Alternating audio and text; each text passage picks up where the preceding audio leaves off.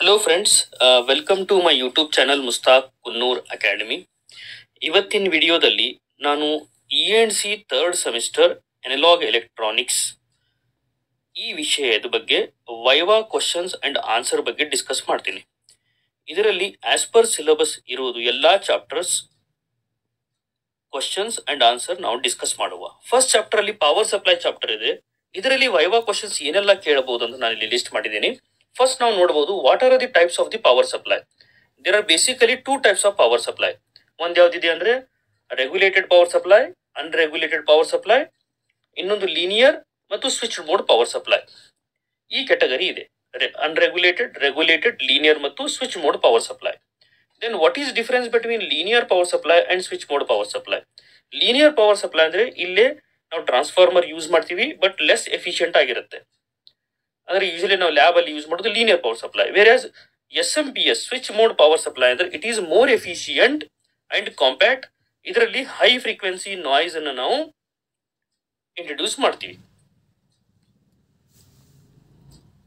R high frequency noise ಇದರಲ್ಲಿ generate ಆಗುತ್ತೆ. Next what is U P S U P S ಅಂದ್ರೆ uninterrupted power supply very simple power ಇರಲಾರ್ದಾಗ ಇದನ್ನು ನಾವು U P S ಅನ್ನು use ಮಾಡ್ತೀವಿ. ಅದೇ ರೀತಿ what is role of regulator regulator ಅನ್ನು ಯಾಕೆ ಯೂಸ್ ಮಾಡ್ತೀವಿ? ಅಂದ್ರೆ ಈಗ ಫಸ್ಟ್ ಎಕ್ಸ್ಪಿರಿಮೆಂಟ್ ಅಲ್ಲಿ ಫಸ್ಟ್ ಎಕ್ಸ್ಪೀರಿಮೆಂಟ್ ಅಂದ್ರೆ ಅದರಲ್ಲಿ seven eight zero five regulator ಅಂತ ಯೂಸ್ ಮಾಡ್ತೀವಿ. ರೆಗ್ಯುಲೇಟರ್ ಕೆಲಸ ಏನಂದ್ರೆ ಕಾನ್ಸ್ಟಂಟ್ ಔಟ್ಪುಟ್ ಅನ್ನ ಕೊಡೋದು regardless of change in input or change in load ಅದೇ ರೀತಿ S M P S S M P S ಯಾವ ವರ್ಕಿಂಗ್ ಪ್ರಿನ್ಸಿಪಲ್ ವರ್ಕ್ ಆಗುತ್ತೆ ಅಂದ್ರೆ S M P S uses high frequency switching to convert power with high frequency higher efficiency than in linear regulator ಇದು first power supply ಇಲ್ಲಿ ಇಷ್ಟೆಲ್ಲ questions ಕೇಳಬಹುದು. ಅದೇ ರೀತಿ wave shaping circuit ಅಂತಿದೆ. ವೇವ್ ಶೇಪಿಂಗ್ ಸರ್ಕಿಟ್ ಅಲ್ಲಿ ಮೇನ್ಲಿ ಇದರಲ್ಲಿ clipper clampers ಮತ್ತು ವೋಲ್ಟೇಜ್ ಮಲ್ಟಿಪ್ಲೈಯರ್ ಬಗ್ಗೆ ಬರುತ್ತೆ. ಅದರ ಜೊತೆಗೆ R C integrator circuit R C integrate ಅಂದ್ರೆ very simple it consist of R and C components ಇದು ಕೊಟ್ಟಿದ್ದ ಸಿಗ್ನಲ್ನ ಇಂಟಿಗ್ರೇಟ್ ಮಾಡುತ್ತೆ. ಕ್ಲಿಪ್ಪರ್ ಅಂದ್ರೆ it just removes or limits the portion of the input signal clamper ಅಂದ್ರೆ ಡಿ ಸಿ ಲೆವೆಲ್ ಅನ್ನ shift ಮಾಡುತ್ತೆ. Voltage multiplier ಅಂದ್ರೆ ವೋಲ್ಟೇಜ್ ಲೆವೆಲ್ ಇನ್ಕ್ರೀಸ್ ಮಾಡುತ್ತೆ. ಡಬ್ಲರ್ ಆರ್ ಟ್ರಿಪ್ಲರ್ ಅಂತ. ಅದೇ ರೀತಿ ಇನ್ನೊಂದು ಕ್ವಶನ್ ಏನ್ ಕೇಳಬಹುದು ಅಂದ್ರೆ difference between series and shunt clipper very simple series clipper ಅಲ್ಲಿ ಡಯೋಡ್ ಸೀರೀಸ್ ಆಗಿ ಕನೆಕ್ಟ್ ಮಾಡಿರ್ತಾರೆ ಶಂಟ್ ಕ್ಲಿಪ್ಪರ್ ಅಲ್ಲಿ ಡಯೋಡ್ ಪ್ಯಾರಲಲ್ ಆಗಿ ಕನೆಕ್ಟ್ ಮಾಡಿರ್ತಾರೆ. ಈಗ ಸ್ಪೆಷಲ್ ಡಿವೈಸಸ್ ಕೆಲವೊಂದು ಬರ್ತವೆ. Tunnel diode varactor diode pin diode Schottky diode ಮತ್ತು ಯುಜೆಟಿ ಇದ್ರ ಬಗ್ಗೆನೂ ಕ್ವಶನ್ಸ್ ಕೇಳಬಹುದು. ಇದರಲ್ಲ ಏನ್ ಕ್ವಶನ್ಸ್ ಕೇಳಬಹುದು ಅಂದ್ರೆ ಇಲ್ಲಿ ನಾವು ನೋಡಬಹುದು, ಟನಲ್ ಡಯೋಡ್ ಅಂತಿದೆ. ಟನಲ್ ಡಯೋಡ್ ನೀವು ಒಂದ್ ಏನ್ ನೆನ್ಪಿಟ್ಕೋಬೇಕಂದ್ರೆ ಫಾಸ್ಟ್ ಆಪರೇಷನ್ ಮತ್ತು negative resistance region varactor diode ಅಂದ್ರೆ ಇದು ವೇರಿಯಬಲ್ ರೆಜಿಸ್ಟ್ ವೇರಿಯಬಲ್ ಕೆಪಾಸಿಟರ್ ತರ ವರ್ಕ್ ಆಗುತ್ತೆ. ರಿವರ್ಸ್ ವೋಲ್ಟೇಜ್ ಅಲ್ಲಿ ನಾವು ಇನ್ಕ್ರೀಸ್ ಮಾಡ್ದಂಗೆ ಕೆಪಾಸಿಟನ್ಸ್ ಅದರದ್ದು ವೇರಿ ಆಗುತ್ತೆ. Pin diode it is mainly used in radio frequency switching and photo detector Schottky diode trans I C L ಎಲ್ಲ ಇದನ್ನ ಯೂಸ್ ಮಾಡ್ತಾರೆ. It has very low forward voltage fast switching ಇರ್ತೈತಿ. High frequency application ಎಲ್ಲಿದೆ? ಅಲ್ಲಿ Schottky diode ಅನ್ನ use ಮಾಡ್ತಾರೆ. ಕೊನೆಯದಾಗಿ U J T U J T ಏನಂದ್ರೆ ಇದನ್ನ ಥೈರಿಸ್ಟರ್ ಮತ್ತು ಆಸಿಲೇಟರ್ನ ಟ್ರಿಗರ್ ಮಾಡ್ಲಿಕ್ಕೆ ಯೂಸ್ ಮಾಡ್ತಾರೆ ಮತ್ತು ರಿಲ್ಯಾಕ್ಸೇಷನ್ ಆಸಿಲೇಟರ್ನ ಆಸ್ ಎ ಆಸಿಲ್ ರಿಲ್ಯಾಕ್ಸೇಷನ್ ಆಸಿಲೇಟರ್ ಅಂತ ಯೂಸ್ ಮಾಡ್ತಾರೆ. ವಾಟ್ ಇಸ್ ರಿಲ್ಯಾಕ್ಸೇಷನ್ ಆಸಿಲೇಟರ್ ಅಂದ್ರೆ ಸಾಟೂತ್ ವೇವ್ ಟೈಪ್ ಜನರೇಟ್ ಮಾಡುತ್ತೆ. ಲೈಕ್ ದಿಸ್ ವೇವ್ಸ್ ಈ ತರ ವೇಫಾರ್ಮ್ ಫಾರ್ಮ್ ಜನರೇಟ್ ಮಾಡ್ಲಿಕ್ಕೆ T uni junction transistor use ಮಾಡ್ತಾರೆ. ಫ್ರೆಂಡ್ಸ್ ನಿಮ್ಗೆ ಈ ವಿಡಿಯೋ ಲೈಕ್ ಆಗ್ತಾ ಇದ್ರೆ ನಮ್ಮ ಚಾನಲ್ ಅನ್ನು ಸಬ್ಸ್ಕ್ರೈಬ್ ಮಾಡಿ ಮುಸ್ತಾಕ್ ಕುನ್ನೂರ್ ಅಕಾಡೆಮಿ ಚಾನಲ್ ಮತ್ತು ಈ ವಿಡಿಯೋ ಎಲ್ಲ ನಿಮ್ಮ ಫ್ರೆಂಡ್ಸ್ ಜೊತೆಗೆ ಶೇರ್ ಮಾಡಿ. ಎಲ್ಲರಿಗೂ ಈ ವೈವಾ ಕ್ವಶನ್ಸ್ ಅಂಡ್ ಆನ್ಸರ್ಸ್ ಲ್ಯಾಬಿಗೆ ಮಾರ್ಕ್ಸ್ ತಗೊಳ್ಳಿಕ್ಕೆ ಅನುಕೂಲ ಆಗಲಿ ಅಂತ ಹೇಳ್ತೀನಿ. ಬನ್ನಿ ಕಂಟಿನ್ಯೂ ಮಾಡೋಣ ಮುಸ್ತಾಕ್ ಕುನ್ನೂರ್ ಅಕಾಡೆಮಿ ಚಾನಲ್ ಅಲ್ಲಿ. ನೆಕ್ಸ್ಟ್ ಟಾಪಿಕ್ ಏನಿದೆ ಅಂದ್ರೆ ಟ್ರಾನ್ಸಿಸ್ಟರ್ ಆಂಪ್ಲಿಫೈಯರ್ ಇದರಲ್ಲಿ ಒಂದು ಕ್ವಶನ್ ಏನ್ ಕೇಳಬಹುದು ಅಂದ್ರೆ what is D C load line ಅಂತ ಕೇಳಬಹುದು ಡಿ ಸಿ ಲೋಡ್ ಲೈನ್ ಅಂದ್ರೆ ಏನು? ಒಂದು ಕ್ವಶನ್ ಇದರಲ್ಲಿ ಕೇಳಬಹುದು ಏನ್ ಡಿ ಸಿ ಲೋಡ್ ಲೈನ್ ಅಂದ್ರೆ? D C load line represents the relationship between collector current and collector voltage showing possible operating point ಅಂದ್ರೆ ಈಗ ಡಿ ಸಿ ಲೋಡ್ ಲೈನ್ ಈ ತರ ಡ್ರಾ ಮಾಡ್ತಾರೆ. ಇದರಲ್ಲಿ ಐ ಸಿ ಇಲ್ಲಿ ವಿ ಸಿ ಸಿ ಅಂತ ಇರುತ್ತೆ. ಇಲ್ಲಿ ಕರ್ವ್ ಎಲ್ಲಿ ಕಟ್ ಆಗುತ್ತೆ? ಈ ಪಾಯಿಂಟಿಗೆ ಏನಂತ ನಾವು ಡಿ ಸಿ ಲೋಡ್ ಲೈನ್ ಅಂತ ಹೇಳ್ತೀವಿ. ಅದೇ ರೀತಿ ಬಯಾಸಿಂಗ್ ಯಾಕೆ ಬೇಕು? ಬಯಾಸಿಂಗ್ ಯಾಕೆ ಬೇಕಂದ್ರೆ ಆಪರೇಟಿಂಗ್ ಪಾಯಿಂಟ್ ಅನ್ನ ಸ್ಟೇಬಲ್ ಮಾಡಲಿಕ್ಕೆ ಆಪರೇಟಿಂಗ್ ಪಾಯಿಂಟ್ ಅನ್ನ ಸ್ಟೇಬಲ್ ಮಾಡಲಿಕ್ಕೆ ಬಯಾಸಿಂಗ್ ಬೇಕು. ಪ್ರಾಪರ್ ಬಯಾಸಿಂಗ್ ಲಿಂದ ಆಪರೇಟಿಂಗ್ ಪಾಯಿಂಟ್ ಸ್ಟೇಬಲ್ ಆಗಬಹುದು ಸ್ಟೇಬಲ್ ಆಗುತ್ತೆ. ಅದೇ ರೀತಿ ವೋಲ್ಟೇಜ್ ಡಿವೈಡರ್ ಅಲ್ಲಿ ವೋಲ್ಟೇಜ್ ಡಿವೈಡರ್ ಬಯಾಸ್, ಇದರಲ್ಲಿ ಎರಡು ರೆಜಿಸ್ಟರ್ಸ್ ಯೂಸ್ ಮಾಡ್ತಾರೆ. ಲೈಕ್ ವೈಸ್ ಟ್ರಾನ್ಸಿಸ್ಟರ್ ನಾವು ಯಾವ ತರ ಕ್ಲಾಸಿಫೈ ಮಾಡಬಹುದು ಟ್ರಾನ್ಸಿಸ್ಟರ್ ನಾವು ಕ್ಲಾಸಿಫೈ ಮಾಡಬಹುದು ಬೇಸ್ಡ್ ಆನ್ ಫ್ರೀಕ್ವೆನ್ಸಿ ಮೇಲೆ. ಬೇಸ್ಡ್ ಆನ್ ಫ್ರೀಕ್ವೆನ್ಸಿ ಮೇಲೆ ಕಪ್ಲಿಂಗ್ ಮೆಥಡ್ಸ್ ಮೇಲೆ, ಮತ್ತು ಮೋಡ್ ಆಫ್ ಆಪರೇಷನ್ಸ್ ಮೇಲೆ. ಟ್ರಾನ್ಸಿಸ್ಟರ್ನ ಕ್ಲಾಸಿಫೈ ಮಾಡಬಹುದು. Next what what is the purpose of an operating point operating point ಅದು ಪರ್ಪಸ್ ಏನು? ಆಪರೇಟಿಂಗ್ ಪಾಯಿಂಟ್ ಪರ್ಪಸ್ ಏನಂದ್ರೆ balancing or trade off between performance and stability transistor stable ಆಗಿ work ಆಗಬೇಕಂದ್ರೆ ಅದು operating point purpose ಅದು correct operating point centre ಅಲ್ಲೇ ಇರಬೇಕು. Next topic common emitter transistor amplifier common emitter transistor amplifier ಅಲ್ಲಿ ಏನೇನು questions ಕೇಳಬಹುದು? ಅಂದ್ರೆ ಫಸ್ಟ್ ಒನ್ ಕಾಮನ್ ಎಮಿಟರ್ ಅಂದ್ರೆ ಏನು? ಕಾಮನ್ ಎಮಿಟರ್ ಅಂದ್ರೆ emitter is common for both input and output next ಇದರಲ್ಲಿ ಔಟ್ಪುಟ್ ಏನಾಗುತ್ತೆ ಅಂದ್ರೆ ಫೇಸ್ ರಿವರ್ಸಲ್ ಆಗುತ್ತೆ. ಅಂದ್ರೆ output one eighty degree out of phase with input ನಾವು ಯಾವ ತರ ಹೇಳ್ಬೋದು ಅಂದ್ರೆ if this is the input output ಏನಿರುತ್ತೆ ಅಂದ್ರೆ ಆಂಪ್ಲಿಫೈ ಆಗಿರ್ತೈತಿ out of phase by one eighty degree ಆಗಿ ಬರುತ್ತೆ.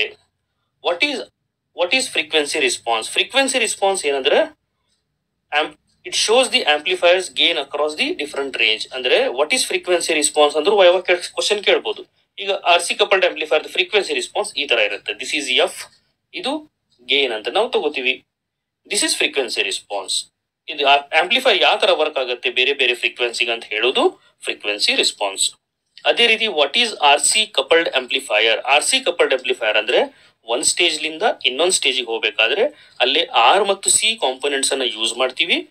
ಅದ್ರ ಕೆಲಸ ಏನಂದ್ರೆ ಎ ಸಿ ಸಿಗ್ನಲ್ ಅಷ್ಟೇ ಪಾಸ್ ಮಾಡೋದು, ಡಿ ಸಿ ಸಿಗ್ನಲ್ಸ್ ಅನ್ನ ಬ್ಲಾಕ್ ಮಾಡೋದು, ಡಿ ಸಿ ಕಾಂಪೋನೆಂಟ್ಸ್ ಬ್ಲಾಕ್ ಮಾಡೋದು ಅದರ ಕೆಲಸ. Next what is power amplifier ಅಂತೂ ಕೇಳ್ತಾರೆ.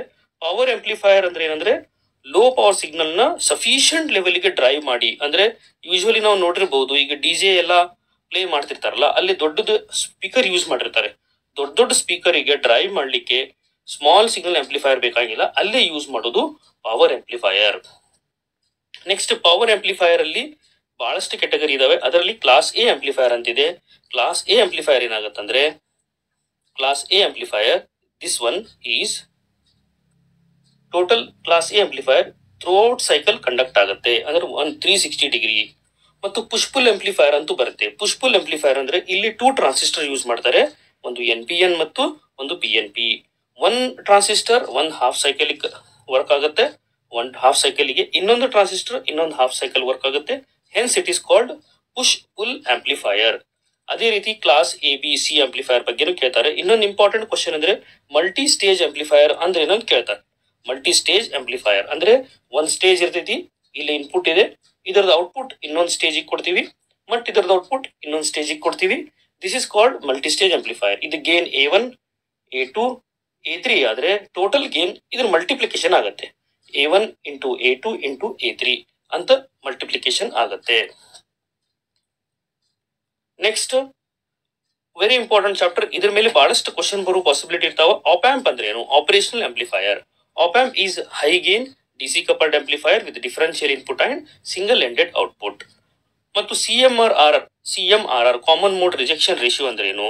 ಇದನ್ನು ಕೇಳ್ತಾರೆ. ಇಲ್ಲಿ ನಾನು ಡೆಫಿನಿಷನ್ಸ್ ಕೊಟ್ಟಿದ್ದೀನಿ. ಅದೇ ರೀತಿ ಸ್ಲೀವ್ ರೇಟ್ ಅಂದ್ರೆ ಏನು? Rate of change of output or how fast an output can respond to changes in the input ಮತ್ತು ಐಡಿಯಲ್ ಕ್ಯಾರೆಕ್ಟರಿಸ್ಟಿಕ್ಸ್ ಕೇಳ್ತಾರೆ. ಐಡಿಯಲ್ ಕ್ಯಾರೆಕ್ಟರಿಸ್ಟಿಕ್ಸ್ ಅಂದ್ರೆ ಏನು? Infinity gain infinity input impedance zero output impedance ಇದ್ರ ಜೊತೆಗೆ virtual ground ಅಂತೂ ಬರುತ್ತೆ. Virtual ground ಅಂತ ಬರುತ್ತೆ. ಮತ್ತು each experiment summing amplifier difference amplifier integrator differentiator ಇವೆಲ್ಲರದು definition ಕೂಡ ಈ ವೈವಾದಲ್ಲಿ ಕೇಳ್ತಾರೆ. ಅದೇ ರೀತಿ oscillator what is oscillator oscillator ಅಂದ್ರೆ it simply generates sine wave without any external input ಇದರಲ್ಲಿ ಒಂದು ಇಂಪಾರ್ಟೆಂಟ್ ಕಾನ್ಸೆಪ್ಟ್ ಏನಿದೆ ಅಂದ್ರೆ Barkhausen criteria this is very important Barkhausen ಕ್ರೈಟೀರಿಯಲ್ಲಿ A beta is equal to one ಅಂತ ನಾವು ಹೇಳಬೇಕಾಗತ್ತೆ. A beta is equal to one ಅಂದ್ರೆ total phase shift ಏನಿದೆಯಲ್ಲ zero degree or three sixty degree ಇರುತ್ತೆ. ಮತ್ತೆ A beta is equal to unity gain ಇರುತ್ತೆ. ಅದೇ ರೀತಿ ಈಗ ಹಾರ್ಟ್ಲೆ ಆಸಿಲೇಟರ್ ಹಾರ್ಟ್ಲೆ ಆಸಿಲೇಟರ್ ಅಂದ್ರೆ ಟ್ಯಾಂಕ್ ಸರ್ಕಿಟ್ ಅಂತ ನಾವು ಹೇಳ್ತೀವಲ್ಲ ಟ್ಯಾಂಕ್ ಸರ್ಕಿಟ್ ಅಲ್ಲಿ ಎಲ್ ಟ್ಯಾಪ್ಡ್ ಇರುತ್ತೆ ಇಂಡಕ್ಟರ್ ಟ್ಯಾಪ್ಡ್ ಇರುತ್ತೆ ಕೆಪಾಸಿಟರ್ ಒಂದೇ ಇರುತ್ತೆ. ಕಾಲ್ಪಿಟ್ಸ್ ಆಸಿಲೇಟರ್ ಅಲ್ಲಿ ಕೆಪಾಸಿಟರ್ ಟ್ಯಾಪ್ಡ್ ಇರುತ್ತೆ ಇಂಡಕ್ಟರ್ ಒಂದೇ ಇರುತ್ತೆ. ಕ್ರಿಸ್ಟಲ್ ಆಸಿಲೇಟರ್ ಅಲ್ಲಿ ಇಲ್ಲಿ ಪೀಸೋ ಎಲೆಕ್ಟ್ರಿಕ್ ಕ್ರಿಸ್ಟಲ್ ಯೂಸ್ ಮಾಡ್ತೀವಿ. ಇದು ಬಹಳ ಸ್ಟೇಬಲ್ ಇರುತ್ತೆ ಫ್ರೀಕ್ವೆನ್ಸಿ ಇರುತ್ತೆ. ಅದಕ್ಕಾಗಿ ಹೆಚ್ಚೆಚ್ಚಾಗಿ ಡಿಜಿಟಲ್ ಸರ್ಕಿಟ್ ಅಲ್ಲಿ ಮತ್ತು ವಾಚಸ್ ಅಲ್ಲಿ ಕ್ರಿಸ್ಟಲ್ ಆಸಿಲೇಟರ್ಸ್ ಅನ್ನ ಯೂಸ್ ಮಾಡ್ತಾರೆ. ಟ್ರಿಪಲ್ ಫೈವ್ ಟೈಮರ್ ಮೇಲೆ ಬಹಳಷ್ಟು ಕ್ವಶನ್ಸ್ ಇದಾವೆ. ಈಗ what is triple five timer ಅಂತ ಕೇಳ್ತಾರೆ. Triple five timer is I C which generates the precise time delays and oscillations ಇದು ನೈನ್ಟೀನ್ ಸೆವೆಂಟಿ ಟೂ ಅಲ್ಲಿ ಇನ್ವೆಂಟ್ ಮಾಡಿದ್ದು. ಇದನ್ನು ಈ ಐ ಸಿ ತ್ರೀ ಮೋಡ್ಸ್ ಅಲ್ಲಿ ಆಪರೇಟ್ ಮಾಡ್ತಾರೆ. ತ್ರೀ ಮೋಡ್ಸ್ ಅಂದ್ರೆ ಮೊನೋಸ್ಟೇಬಲ್ ಅಸ್ಟೇಬಲ್ ಮತ್ತು ಬೈಸ್ಟೇಬಲ್ ಮೋನೋಸ್ಟೇಬಲ್ ಅಸ್ಟೇಬಲ್ ಬೈಸ್ಟೇಬಲ್ ಮೋನೋಸ್ಟೇಬಲ್ ಅಂದ್ರೆ ಏನು? ನಾವು ಟ್ರಿಗರ್ ಮಾಡಿದಾಗ ಐ ಸಿನ ಇಲ್ಲಿ ಏನ್ ಬರುತ್ತೆ? ಔಟ್ಪುಟ್ ಅಲ್ಲಿ ಒಂದೇ ಒಂದು ಪಲ್ಸ್ ಬರುತ್ತೆ. ದಟ್ ಈಸ್ ಮೋನೋಸ್ಟೇಬಲ್ ಅಸ್ಟೇಬಲ್ ಅಂದ್ರೆ ನಾವು ವಿಥೌಟ್ ಎನಿ ಟ್ರಿಗರ್ ಕಂಟಿನ್ಯೂಸ್ ಆಗಿ ಕಂಟಿನ್ಯೂಸ್ ಆಗಿ signal ಬರುತ್ತಿರುತ್ತೆ. This is this is astable what is bistable ಒಂದ್ಸಲ ಟ್ರಿಗರ್ ಮಾಡಿದಾಗ ಒಂದ್ಸಲ ಹೈ ಮತ್ತು ಒಂದ್ಸಲ ಲೋ ಬಂದು ಸ್ಟಾಪ್ ಆಗ್ಬಿಡುತ್ತೆ. That is bistable mode ಅದೇ ರೀತಿ ಡಿಫ್ರೆಂಟ್ ಪಿನ್ಸ್ ವರ್ಕಿಂಗ್ ಕೂಡ ಇಲ್ಲಿದೆ. ಆಮೇಲೆ ಇಂಟರ್ನಲಿ ಸ್ಟ್ರಕ್ಚರ್ ಅದರಲ್ಲಿ ಏನೇನಿರುತ್ತೆ ಅಂದ್ರೆ ಫ್ಲಿಪ್ ಫ್ಲಾಪ್ ಇರುತ್ತೆ ಡಿಸ್ಚಾರ್ಜ್ ಟ್ರಾನ್ಸಿಸ್ಟರ್ ಇರುತ್ತೆ ಮತ್ತು ತ್ರೀ ಫೈವ್ ಕೆ ರೆಜಿಸ್ಟರ್ ಇರುತ್ತೆ. ಅದಕ್ಕೆ ಇದ್ರ ಹೆಸರೇನಿತ್ತಲ್ಲ ಟ್ರಿಪಲ್ ಫೈವ್ ಅಂತ ಹೇಳ್ತಾರೆ. ಯಾಕಂದ್ರೆ ಮೂರು ಫೈವ್ ಕೆ ರೆಜಿಸ್ಟರ್ ಇರ್ತಾವೆ ಒಳಗಡೆ. ಆಮೇಲೆ ವೆರಿ ಇಂಪಾರ್ಟೆಂಟ್ ಎಷ್ಟು ವೋಲ್ಟೇಜ್ ಇಂದ ಎಷ್ಟು ವೋಲ್ಟೇಜ್ ತನಕ ವರ್ಕ್ ಆಗುತ್ತೆ ಅಂದ್ರೆ ಇಲ್ಲಿ four point five to fifteen volt ಈಗ ಲೇಟೆಸ್ಟ್ ಕೆಲವೊಂದು ವರ್ಷನ್ ಏಯ್ಟೀನ್ ವೋಲ್ಟ್ ತನಕನೂ ಬರ್ತಾ ಇದಾವೆ. Four point five to fifteen volt ತನಕ ವರ್ಕ್ ಆಗುತ್ತೆ. ಎಲ್ಲಿ ತನಕ ಎಲ್ಲಿ ತನಕ ಫ್ರೀಕ್ವೆನ್ಸಿ ಜನರೇಟ್ ಮಾಡ್ತಾವೋ ಹಂಡ್ರೆಡ್ಸ್ ಆಫ್ ಕಿಲೋ ಹರ್ಟ್ಸ್ ತನಕ ಫ್ರೀಕ್ವೆನ್ಸಿ ಜನರೇಟ್ ಮಾಡುತ್ತೆ. ಅಪ್ಲಿಕೇಶನ್ಸ್ ಎಲ್ಲ ಡಿಲೇ ಸರ್ಕಿಟ್ ಮತ್ತು ಡಿಲೇ ಸರ್ಕಿಟ್ ಅಲ್ಲಿ ಪಲ್ಸ್ ಮಾಡ್ಯುಲೇಷನ್ ಅಲ್ಲಿ ಟೋನ್ ಜನರೇಷನ್ ಅಲ್ಲಿ ಎಲ್ ಇ ಡಿ ಫ್ಲಾಶರ್ ಅಲ್ಲಿ ಫ್ರೀಕ್ವೆನ್ಸಿ ಡಿವೈಡರ್ ಅಲ್ಲಿ ಇದನ್ನೆಲ್ಲ ಯೂಸ್ ಮಾಡ್ತಾರೆ. ಅಸ್ಟೇಬಲ್ ಫ್ರೀಕ್ವೆನ್ಸಿ ಮೋಡ್ ಜನರೇಟ್ ಮಾಡೋ ಎಫ್ ಫಿಸಿಕಲ್ ಟು ಫಾರ್ಮುಲಾ ಇಲ್ಲಿ ತರಿಸಿದ್ದಾರೆ ಅದೇ ರೀತಿ ಮೊನೋಸ್ಟೇಬಲ್ ಇದೆ ಮತ್ತು ಡ್ಯೂಟಿ ಸೈಕಲ್ದು ಇದೆ. ಟೆಂಪರೇಚರ್ದು ಏನು ಎಫೆಕ್ಟ್ ಆಗುತ್ತಂತಿದೆ?